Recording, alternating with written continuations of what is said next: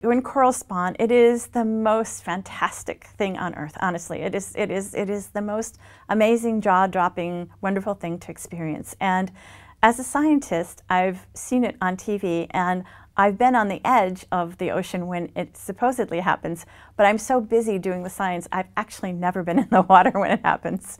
Um, we often bring um, fragments and pieces of coral into the um, into our sort of open laboratory or, or, right by the sea, and so I do see it, but I, I, haven't seen the sort of the massive spawning on the Great Barrier Reef, and um, I mean it's it is so extensive and so um, amazing that you can see the slick from space. I mean, it's just fantastic.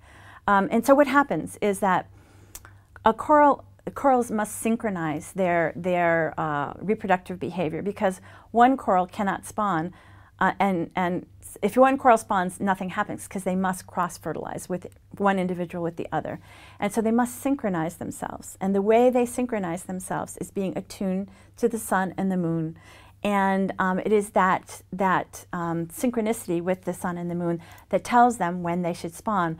I told you earlier that we know exactly when they're going to spawn down to the minute, pretty much.